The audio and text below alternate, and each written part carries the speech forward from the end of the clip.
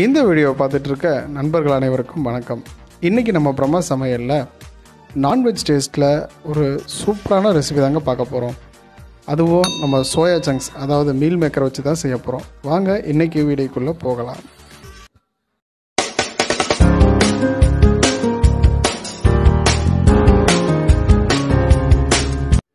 இன்றைக்கி அதுக்கு நாம் எடுத்துகிட்டு இருக்க பொருட்கள் மீல் மேக்கர் நூறு கிராம்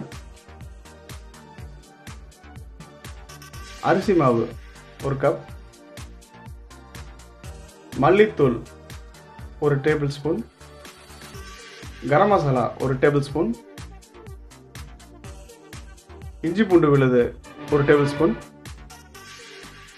கலரும் கொஞ்சம் காரத்துக்காக ரெட் சில்லி பவுடர் அப்புறமா தேவையான அளவு உப்பு.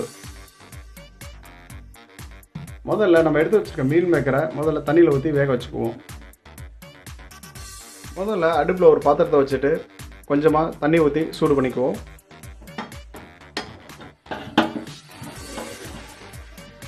கொஞ்சமாக உப்பு போட்டுக்குவோம்.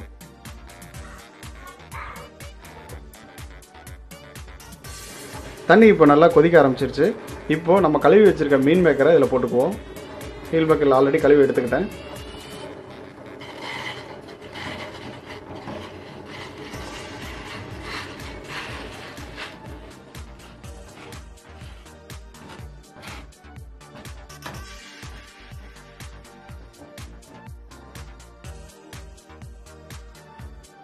ரெண்டுலேருந்து மூணு நிமிஷம் இது மாதிரி நல்லா கொதிக்க விட்ருங்க கொதிக்க விட்டுட்டு ஸ்டவ் ஆஃப் பண்ணிவிட்டு இறக்கி வச்சுருவோம்.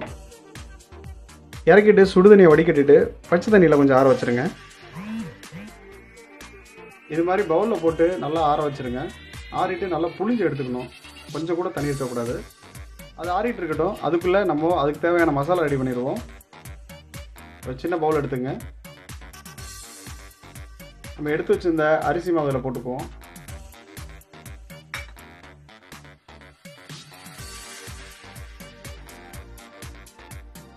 மல்லித்தூள். Garam masala.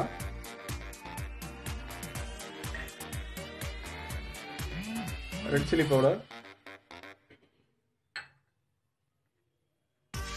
இஞ்சி பூண்டு பேஸ்ட்.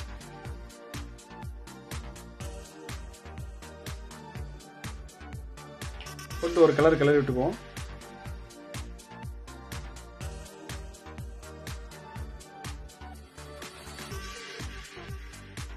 கொஞ்சமாக தண்ணி ஊற்றி பெசரிக்குவோம்.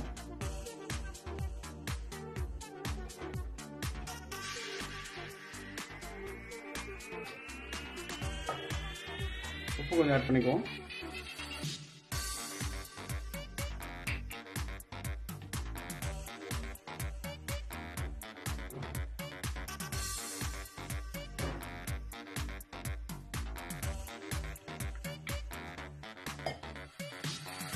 ரொம்பவும் கெட்டி இல்லாமல் ரொம்பவும் தண்ணியும் இல்லாமல் இந்த பதத்துக்கு பசஞ்சுக்குங்க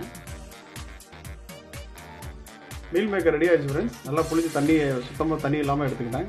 இப்போ நம்ம எடுத்து வச்சுருக்க மிக்ஸில் இதை போட்டுக்குவோம்.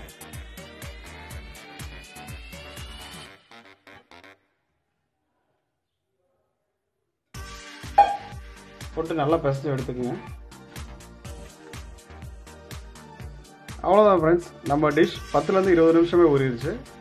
அவ்வளோதான் ஃப்ரெண்ட்ஸ் நம்ம மிக்ஸ் பண்ணி வச்சு இந்த மீல் மேக்கர் ரெடி ஆயிடுச்சு இப்போ எண்ணெயில் போட்டு பொரிச்சிருக்க போகிறோம்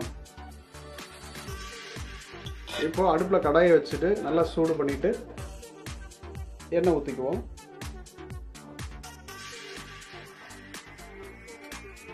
அவ்வளோதாங்க எண்ணெய் சூடாயிடுச்சு இப்போ நம்ம பொரிச்சு எடுத்துக்குவோம். அடுப்பை மீடியம் ஃப்ளேம்லேயே வச்சுக்கோங்க.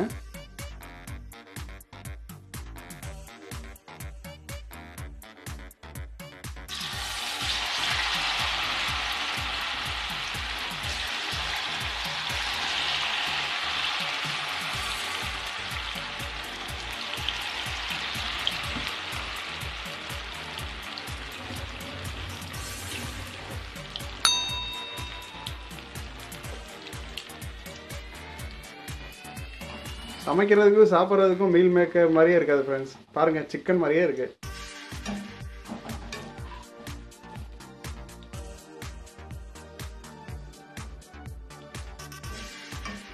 நார்மலாக நம்ம ரெட் சில்லி பவுடர் கலரே போதும். உங்களுக்கு கலர் பத்தலை அப்படின்னா நீங்கள் வேறு ஏதாவது கலர் மிக்ஸ் பண்ணிக்கோங்க.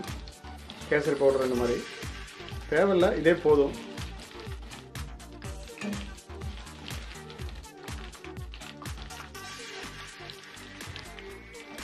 ஃப்ரெண்ட்ஸ் நல்லா வந்துருச்சு. எண்ணெய் வடிச்சுக்கோங்க.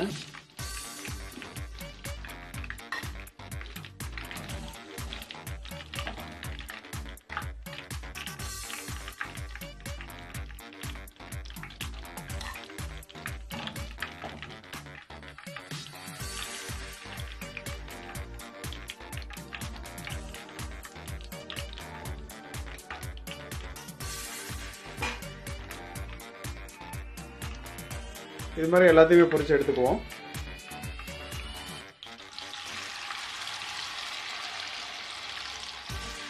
ஃப்ரெண்ட்ஸ் ஃபைனலாக நம்ம ஃப்ரை ரெடி ஆயிருச்சு. மீல் மேக்கர் ஃப்ரை ரொம்ப பார்க்கவே அழகாக இருக்குது சிக்கன் கூட தொத்து போயிருங்க இந்த டேஸ்ட்டுக்கு கண்டிப்பாக செஞ்சு சாப்பிட்டு பாருங்கள் இந்த வீடியோ உங்கள் எல்லாருக்கும் பிடிச்சிக்குன்னு நினைக்கிறேன். அடுத்தது ஒரு ஹெல்த்தி அண்ட் டேஸ்டி ஃபுட்டோட உங்களை வந்து சந்திக்கிறேன். நன்றி.